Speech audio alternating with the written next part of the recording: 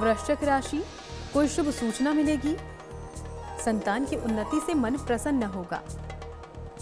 रुके हुए काम पूरे होंगे। छोटी यात्रा के योग हैं। प्रॉपर्टी खरीदने का विचार करेंगे। छोटी बातों को तूल ना दें। अपनी सेहत का ध्यान रखें। महत्वपूर्ण काम निपटा लें।